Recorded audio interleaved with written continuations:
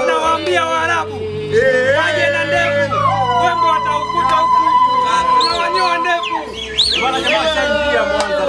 mnaanza safari ya kwenda kule au sio? Mchezo Jumapili.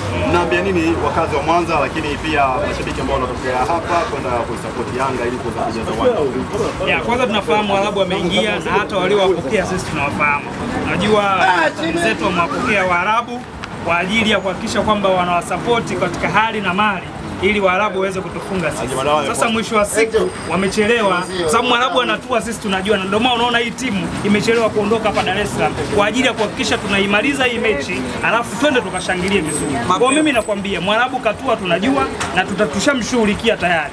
Mechi imekwisha, Yanga ameshamfunga Mwarabu hivi ninavyokwambia.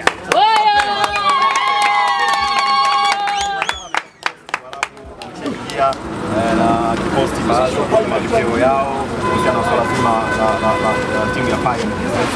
Ujumbe gani ambao unaambia mashabiki wa Simba ambao watatokea Jumapili kusapoti? Sisi tulishawaambia Simba. Hii Yanga Umeelewa? Sisi tunaenda kubeba bendera ya taifa. Wao kama wanakuja kushangilia waje, lakini wasivae jezi za Simba, kwa sababu hakuna timu ya Simba inayocheza pale mwanzo. Wavae jezi za Pyramids watajua wao, wavae jezi za timu ya taifa watajua wao, lakini sisi tunachojua tunaenda kupiga jiwe moja kwa ndege wawili.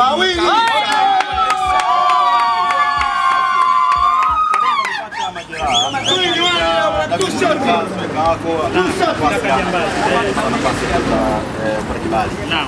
Tunaona masweka wale wale mwalimu atatumia sana hii pamoja eh, na na wa kiungo kama Makame. Ushauri gani ambao unaambia nje ya ufundi kuweza kufanya kitu kizuri, kuweza kufanya matokeo ushindi mzuri ndio utawafanya nyinyi kupata eh, kupata nafasi nzuri Kwanza benchi la ufundi wenyewe wanatambua kuna Yanga ambayo inacheza eh, mashindano ya kimataifa, alafu kuna Yanga inacheza ligi.